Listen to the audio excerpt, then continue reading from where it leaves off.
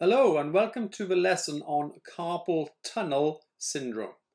Okay, so my name is John Gibbons and I've got a company called the John Gibbons Bodymaster.co.uk, which I'm sure you will check out. But let's look at uh, the carpal tunnel because many people can suffer with this type of syndrome that affects this region of the body. Now let's have a look at um, the area here.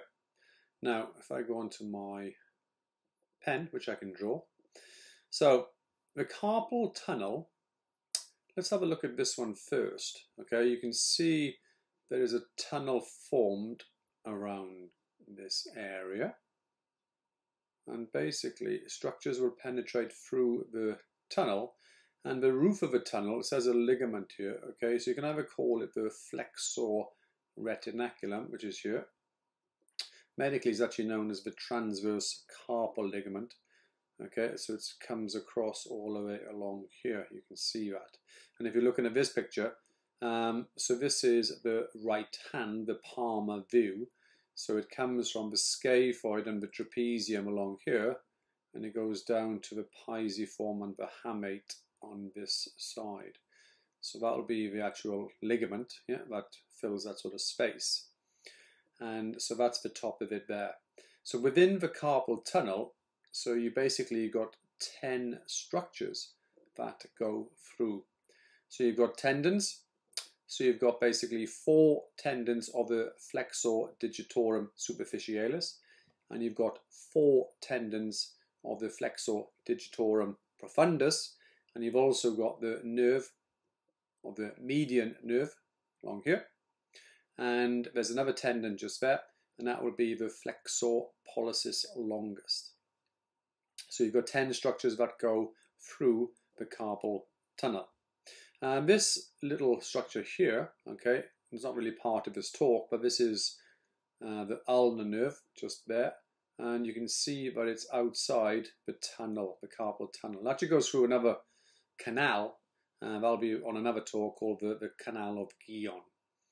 Okay, have a look at this picture. You can see, if you look at the thumb, the index, the middle and half the ring along here, you can see that this area, uh, okay, this area, so the thumb index, middle and half a ring finger is an area that has been shaded.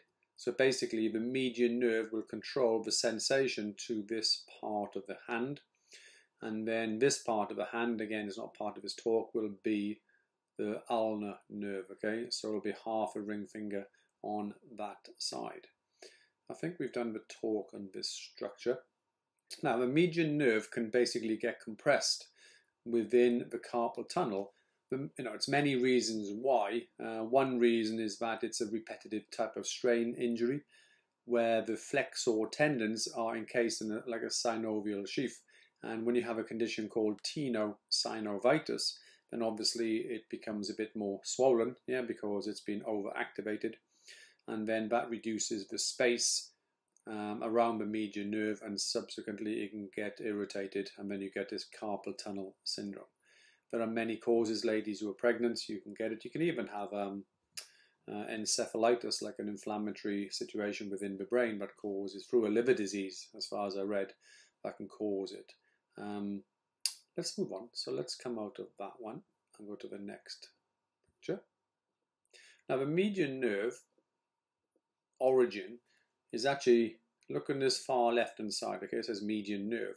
So the median nerve basically comes from C5, C6, C7, C8, and also T1. And that's the median nerve here. So it starts off, if you look, if I just follow this, it comes up here. Okay, so it comes up from the C5, okay, and the C6 nerve root, and then comes down, you can see, along here and if you're looking at C7 so it comes so from here okay so C7 it has a branch okay and joins along here and also C8 and T1 comes down okay and then forms part of the median nerve here. So basically he's almost got a level from C5, 6, 7, C8 and T1 so he's got five origins and as it comes down it's got one sorry it's got one pathway along here uh, passes through um, the interscalene triangle in the cervical spine, yeah, between the anterior and middle fibers of the scalene. Uh, it goes over the first rib and under the clavicle, as a rib here, and then on it goes eh, underneath the pectoralis minor and down into the arm. As it goes down into the arm, the motor supply, okay, so supplies many muscles in the forearm, they're listed here, uh, but we're going to move on to the hand quite soon. Yeah, so the median nerve comes down. Remember C5, C6, C7. Let's use my pen on that area. It comes down. Okay, and then the median nerve comes down here. Okay, and innervates the muscles. I don't need to read all these. You can see that. Yeah, and then comes down through the carpal tunnel in here. Now, as it comes down, it actually splits. The median nerve does split into the palmar digital branch and also the recurrent branch. Next page, let's go on. The sensory for the median nerve.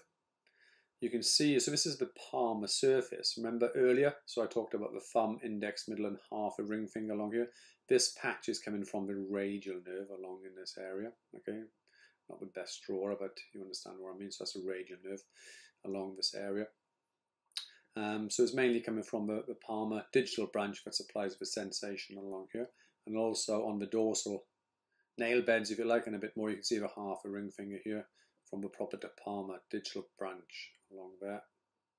So if someone does have tingling, altered sensation to that area of the hand, it might well be the median nerve is involved coming from the carpal tunnel. Another sensory sort of picture, quite like this one. Okay, so this area, so along here, and here, and here, and half the ring finger. Okay, so that would be from the the median nerve of the palmar digital branch along here. This would be from the ulnar nerve along this sort of area, and then this is the antebrachial part of musculocutaneous nerve on this side, but this is what we're looking at on that sort of area, and then this is the ulnar, like I said. Uh, in the hand, the median nerve um, supplies the muscles called the L, the O, the A, the F, Okay, so the um, palmar digital branch supplies the lateral two lumbricals, but still part of the median nerve here. Okay, so that's the L, and then the and the sensation to where we said. Okay, so we talked about earlier, and the um, recurrent branch of the median nerve will supply the off muscles, if you like. So basically, the opponens pollicis, the A is the abductor pollicis brevis, and then the F is the flexor pollicis brevis, and these make up the muscles called the thenar eminence within the hand. Okay. One way of testing the median nerve is to do what we call a pinch grip. So if you were to pinch the thumb, okay, and then the index finger, and then you resist that motion because you're basically using the pad of the thenar eminence muscles here, then um, if it is weak, then you might find the muscles are obviously weak as a result, but it's not a muscle weakness. It might well be due to the entrapment of a median nerve. So that could be a very simple test you could do for that. Have a look at this next picture. So this is a friend of mine, and this is normal, okay? Look at the fullness of the musculature around here, okay? But look at this one, look at this indentation here. Okay, yeah, so this lady in question had a chronic carpal tunnel syndrome and uh, she was diagnosed with what we just said, carpal tunnel, um, and had it for I'm not sure how long, couple of years, and um, and you can see a wasting of the abductor pollicis brevis on this side in here, um, so very weak on the on the pinch grip as well. So that's an interesting one where you can see atrophy of that of that muscle. A couple of tests you can do. So this is a standard test named after uh, George S. Phalen and basically you place the, the back of the hands together for about 30 seconds to see if that uh, brings on any type of symptoms. Uh, you can also do the reverse Phalen. Um, this time you put the palm surface together. Okay, so they're both pretty good for testing for that um, to see if any symptoms come on. Cool. So there's a, a brief introduction into the anatomy of a carpal tunnel and a little bit about carpal tunnel syndrome. I hope you've enjoyed the talk. If you have any questions, you can just uh, leave them where you feel it's appropriate. Thank you.